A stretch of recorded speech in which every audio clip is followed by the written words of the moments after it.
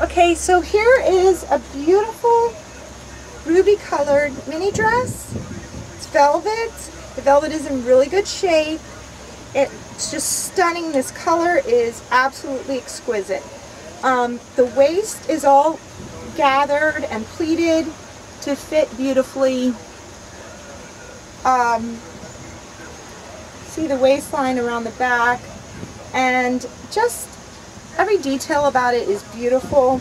It stands out.